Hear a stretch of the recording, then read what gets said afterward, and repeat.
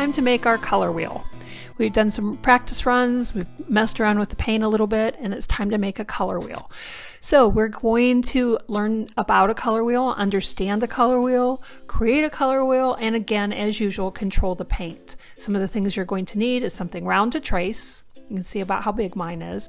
A paintbrush, watercolor paint, water, a paper towel, and a pencil in your paper that you're going to work on. So my circle is about as big as my hand. You're going to start by tracing that circle. Then I want you to find the middle of the circle. You're going to divide that circle into three equal sections. Now, if you need to stop the video to keep up, do so. Now, each one of those sections you're going to divide into two.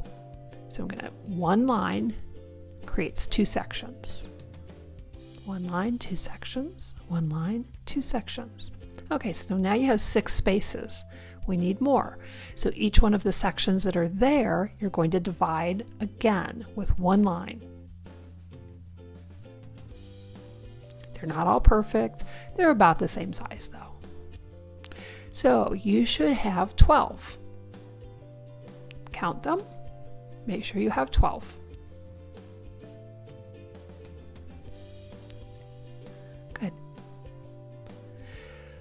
Now, the, one of the top sections, you're going to mark inside a circle red or R for red.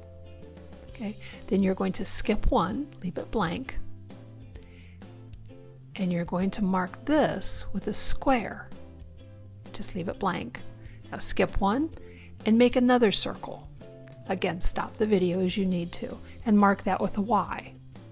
Skip one, make it a square skip one and make it a circle with blue, skip one and give it a square. So all of the circles that you've just marked have primary colors. Red, blue, and yellow are your primary colors. The square are going to be secondary colors. Secondary colors are created when you mix two primaries together. So when you mix red and yellow together, you get orange. When you mix yellow and blue together, you get green. And when you mix blue and red together, you get violet or purple. Okay, mark all of those just the way I did. Stop the video as you need.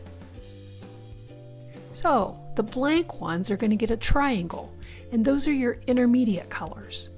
Intermediate colors are two word colors, like red orange, yellow orange, yellow green, blue green with a triangle around each one,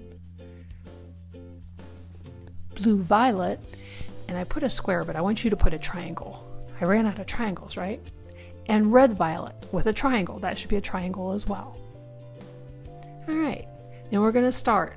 Before you do anything, I painted, I, I broke a rule here. Before you do anything, I want you to clean your palette. So get some water on your brush, take a paper towel or a napkin, and just wipe it down.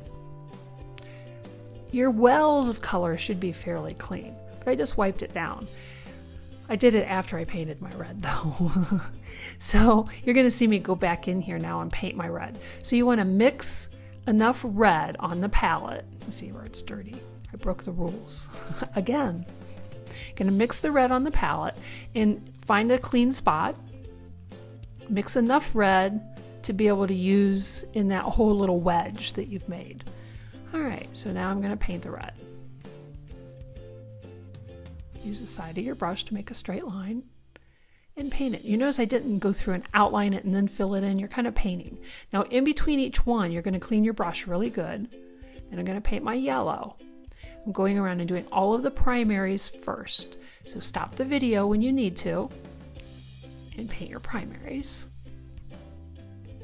my blue, filling that space. Okay, there's my primary colors. Now I'm going to paint the secondary colors. So I'm going to, I use the orange right out of the paint tray. You can mix it if you want. You can see me mixing it there, or you can use it out of the paint tray. It's up to you. You'll do a lot of color mixing, so you don't, I'm not worried about you doing it right now. So fill that orange Notice you're skipping a space and that gives it a chance to dry. So you're leaving that blank one or the intermediate colors blank right for a while. It gives the other ones a chance to dry. Do the green, do your purple or violet. Violet sounds fancier, doesn't it? So we'll say violet. Try not to outline it and fill it in. Okay, you don't want to leave an outline around everything. Now you're really going to do some mixing. So you're going to take the red and the purple or the violet and mix a little bit of it together. Your goal here is to have something in between the red and the violet. So it looks different from the red and it looks different from the violet. It's kind of right in between. Nice little red violet. Now you're going to do a blue violet. Clean your palette as you need to. I love that color, isn't it beautiful? Paint it. See how I'm leaving a little bit of a white line in there just to make sure they don't bleed together? That's You can do that if you want. So blue green, a little bit of blue, a little bit of green, and you got a blue green. I think that one could add a, have a little more blue in it, but it is definitely in between the blue and the green.